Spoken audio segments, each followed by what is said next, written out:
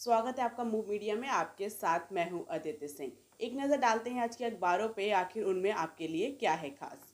जनसत्ता से। यूपी में राजनीतिक सरगर्मी में अमित शाह से मिलेंगे योगी आदित्यनाथ। उत्तर प्रदेश विधानसभा चुनाव से पहले भाजपा में मचे घमासान के बीच मुख्यमंत्री योगी आदित्यनाथ ने गुरुवार को दिल्ली में केंद्रीय गृह मंत्री अमित शाह से मुलाकात की। दो दिवसीय दौरे पर राजधानी पहुँचे योगी आदित्यनाथ। शुक्रवार को प्रधानमंत्री मोदी और भाजपा के अध्यक्ष जेपी नड्डा से भी मुलाकात करेंगे। पूर्व कांग्रेस नेता जितिन प्रसाद के भाजपा में शामिल होने के एक दिन बाद मुख्यमंत्री योगी आदित्यनाथ की दिल्ली यात्रा सूबे के मंत्रिमंडल व संगठन में बदलाव की दृष्टि से महत्वपूर्ण मानी जा रही है। मौत के आंकड़ों को छुपाने पर विवाद में घिरे हैं नीतीश। प्रदेश में कोरोना संक्रमण की दूसरी लहर में अब तक हुई मौतों की सरकारी आंकड़ा पाँच हज़ार चार सौ पचास से ज़्यादा ही था, लेकिन इसमें एक ही दिन में सेवेंटी थ्री फ़ीसदी की वृद्धि हो गई और यहाँ बढ़कर nine thousand four hundred twenty nine पहुँच गया। इस मामले में बिहार सरकार के स्वास्थ्य विभाग के ऊपर मुख्य सचिव प्रत्यक्ष अमृत ने स्वीकारा कि आंकड़ों में गड़बड़ी हुई है। उन्होंने कहा कि मृतकों की गलत संख्या देने वालों के खिलाफ कड़ी कार्रवाई की जाएगी। बिहार के विभिन्न जिलों से में भेजे जाने वाले कोरोना मृतकों के आंकड़े में गड़बड़ी की आशंका के मद्देनजर 18 मई को राज्य सरकार ने जाँच कराने का निर्णय किया है और टीमें बनाकर जाँच कराई जाएगी। इसी जाँच में गड़बड़ी की बात सामने आई है। बिहार सरकार ने कोरोना मृतकों के परिजनों को चार लाख रुपए की आर्थिक सहायता का ऐलान भी किया है।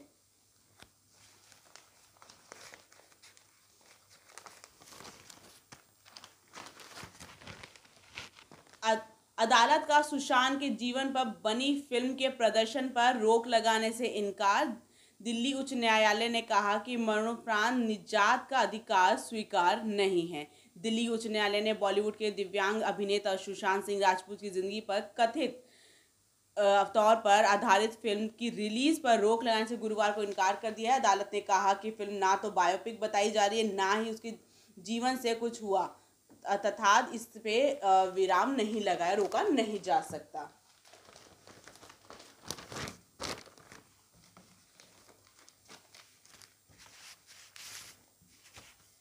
नवोदय टाइम्स से।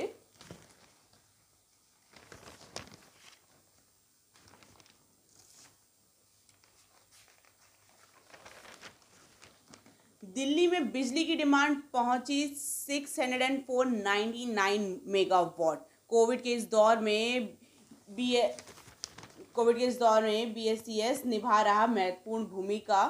इस बार पीक डिमांड सेवन थाउज़ेंड से seven thousand four hundred megawatt के बीच रहने की संभावना है। ऑक्सीजन की बड़ा ऑक्सीजन की सुविधा बढ़ा रही है दिल्ली सरकार। अरविंद केजरीवाल ने ऑक्सीजन डिपो और उत्पाद प्लांट का किया दौरा।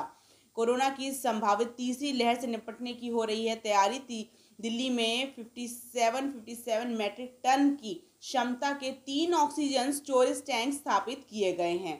ऑक्सीजन के 19 पीएसएस प्लांट तैयार किए गए। मुख्यमंत्री ने कहा कि दिल्ली के अगले एक दो दिन में 19 ऑक्सीजन के पीएसएस प्लांट्स की उद्घाटन किया जाएगा। यह ऑक्सीजन के पीएसएस प्लांट्स लग चुके हैं। मुख्यमंत्री ने कहा कि इस बार लहर के दौरान ऑक्सीजन टैंकरों की भी दिक्कत आई थी।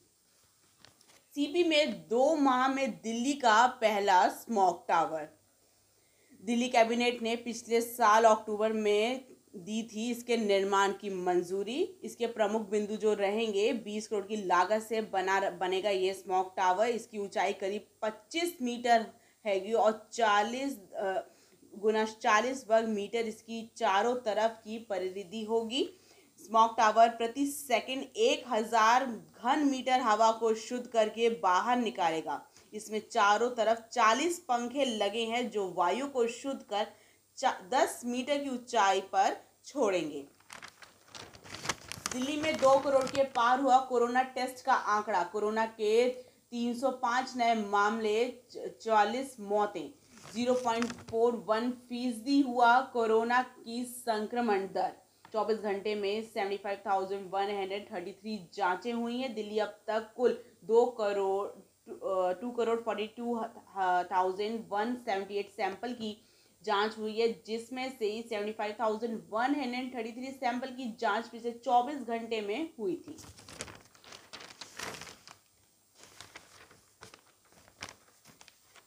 ये थी सारी खबरें नवोदया टाइम्स से दिल्ली की।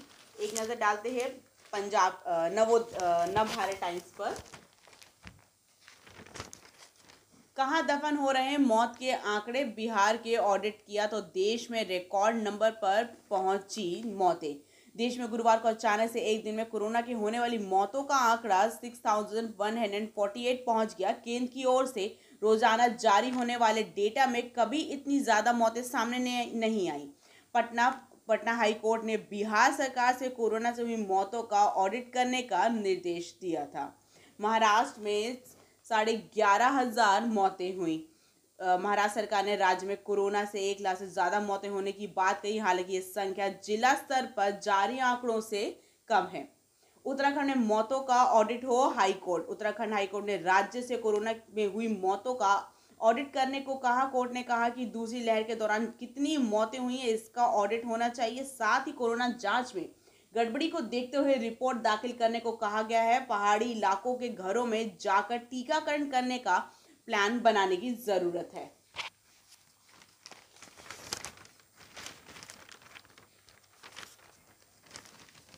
होम डिलीवरी एजेंट्स को प्राथमिकता के आधार पर लगाई जाएगी वैक्सीन, विभाग अमेजन विभाग अमेजन फ्लिपकार्ट जोमेटो स्विगी से करेगा संपर्क। उप मुख्यमंत्री मनीष सिसोदिया ने स्वास्थ्य विभाग को अमेजॉन फ्लिपकार्ट जोमेटो स्विगी और जैसी ऑनलाइन कंपनियों में से संपर्क करने को कहा गया है, जहाँ पर काम करने वाले डिलीवरी एजेंट्स का वैक्सीनेशन सुनिश्चित करना ज़रूरी है। इस वक्त डिलीवरी एजेंट्स ये सुनिश्चित कर रहे हैं कि लोग अपने घरों में रहें और भीड़ वाले इलाकों से जाने से बचें।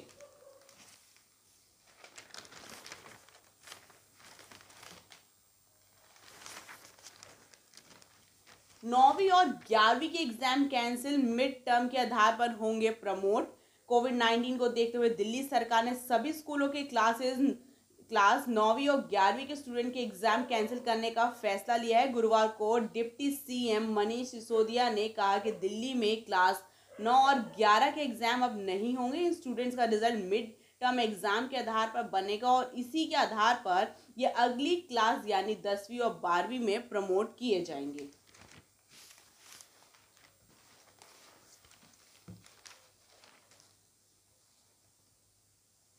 फ्रंटलाइन वर्कर्स को पहले दे सेकेंड डोज वैक्सीनेशन के नई गाइडलाइन 21 जून से लागू हो रही है और केंद्र सरकार ने राज्यों को सलाह दी है कि वह पहले हेल्थ केयर वर्कर्स और फ्रंटलाइन वर्कर्स की सेकेंड डोज को प्राथमिकता दे, क्योंकि वैक्सीनेशन में सेकेंड डोज का एवरेज काफ़ी कम है और कई राज्य ऐसे हैं जो नेशनल एवरेज से भी पीछे हैं।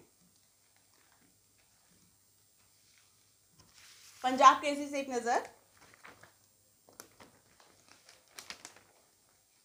आज से शराब की होगी होम डिलीवरी। राजधानी दिल्ली में शराब के शौकीनों के लिए अच्छी खबर है।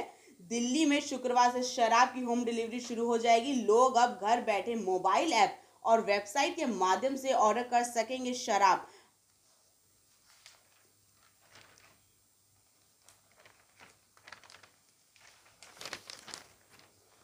बच्चों में कोरोना के इलाज के नई नई गाइडलाइंस हल्के संक्रमण वाले बच्चों के इलाज में स्टेरॉइड्स के इस्तेमाल को मनाही बच्चों को मास्क पहनने को भी लेकर दिए गए सुझाव। क्या रेमडिविजर दी दी जा सकती है? केंद्र सरकार की ओर से जारी गाइडलाइन में साफ़ कहा गया है कि संक्रमित बच्चों को एंटी वायरल रेमडिविजर नहीं दी जाएगी। स्वास्थ्य सेवा महादिशा महादिशालय ने कहा कि तीन से अठारह साल तक के बच्चों में इसका इस्तेमाल से सफलता मिलने के प्राप्त आंकड़े उपलब्ध नहीं है, इसलिए इसके उपयोग से बचा जाना चाहिए। क्या स्टोराइड का उपयोग किया जा सकता है? डीजी डीजीएचएस ने केवल अस्पताल में भर्ती गंभीर और अत्यंत गंभीर मामलों के बच्चों के इलाज के कड़ी निगरानी के तहत स्टेरॉइड दवाओं का इस्तेमाल करने का सुझाव दिया है। स्वास्थ्य कर्मियों को टीके की दूसरी खुराक देने के लिए राज्य पहले ही योजना बनाए केंद्र ने कहा केंद्र सरकार ने स्वास्थ्य कर्मियों अग्रिम मोर्चे पर कार्यरत कर्मियों के टीकाकरण के निम्न स्तर, खासतौर पर दूसरी खुराक के मामले को गंभीर चिंता करार देते हुए राज्य और केंद्र शासित प्रदेशों को बृहस्पतिवार को सलाह दी कि प्राथमिकता वाले समूह को दूसरी खुराक देने पर ध्यान केंद्रित करें और इसके लिए प्रभावकारी योजनाएँ बनाएँ। बाबा रामदेव भी लगाएँगे टीका। योग गुरु बाबा रामदेव कोरोना टीका ना लगाने से अपने रुख से अब पलट गए हैं। योग गुरु बाबा का कहना है कि वह कोरोना का टीका लगवाएँगे। इसके साथ ही बीते कई दिनों से एलोपैथिक चिकित्सा पद्धति और डॉक्टरों पर निशाना साधने वाले बाबा रामदेव ने कहा कि अच्छे डॉक्टर्स देव टू के समान होते हैं। चार मंजिला इमारत गिरने से 11 लोगों की मौत। मुंबई में बुधवार को पूरे दिन बारिश के बाद मालवानी इलाके में एक चार मंजिला इमारत रात ग्यारह दस बजे ढहकर दूसरी इमारत पर गिर गई। हादसे में के बाद मलबे में अठारह लोग निकाले गए। इसमें से ग्यारह लोगों की मौत हो चुकी है। बाकी सात घायलों को निजी अस्पताल में भर्ती कराया गया है।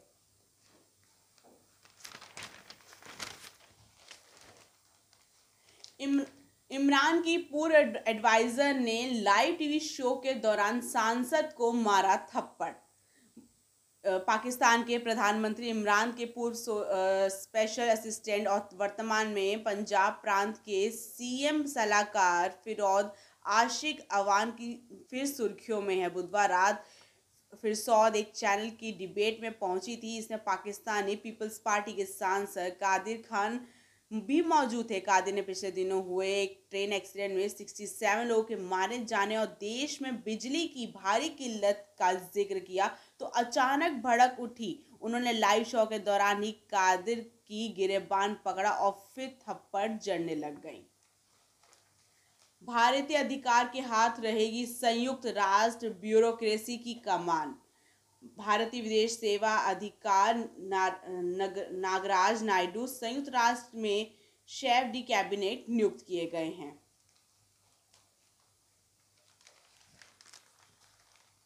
विदेश मंत्री एस जयशंकर ने कुवैत के प्रधानमंत्री शेख साहब खालिद अल हमाद अल सा सबाह से मुलाकात की और दोनों देशों के बीच साझेदारी को ऊंचाइयों पर ले जाने की उनकी प्रबलता को सराहना की।